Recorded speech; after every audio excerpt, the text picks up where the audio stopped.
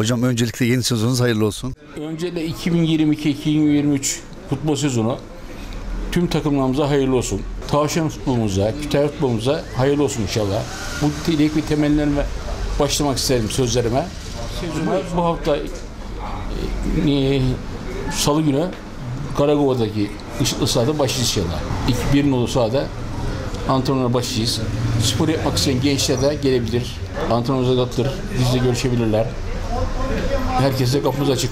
Tabii görüşme halindeyiz birkaç arkadaştan. Yani, e, altyapıdan gelen gençlerimizi de aramıza gör, katmak istiyoruz bu sene.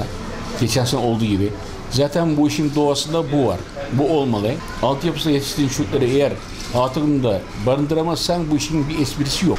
Oradan çocuklar kaya başka yerlere, bunda anon kalmaz diye düşünerek onları A takımına katmaya çalışıyoruz. Yani bir altyapı çalışma zaten hiç hız kesmedik. Hiç zaman kaybetmedik.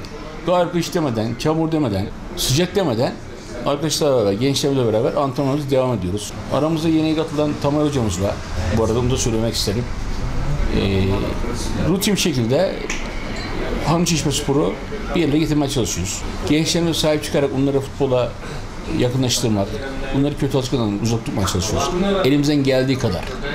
Nasıl takıma destek var mı maddi olarak? Ben 2016'da bu takımı e, yönetim olarak aldığımızdan beri e, Hanımçeşme'den belirli bir destek yok.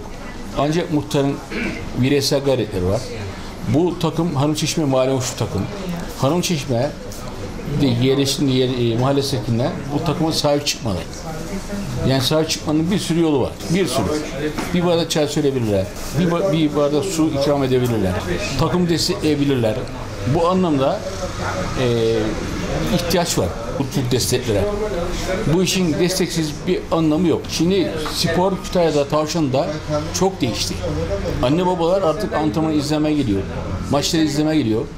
Bunlar bizi dolayısıyla çok sevindiriyor, mutlu ediyor bizi. Bu bizi daha çok da ileri taşıyacaktır yani. Güzel, başarılı sezon diliyorum hocam. Ben e, çok teşekkür ediyorum. Zaman zaman bu mikrofonu bize uzatıyorsun. Ben bu konuda size çok teşekkür ediyorum. Daha geniş kapsamlı toplantı, sohbet etmek isterim. Konuşmak isterim bu konuda. Haftalık programlarımızı inşallah bir gün. İnşallah, inşallah. Çok teşekkür ederim. Karakoy'da bekleriz.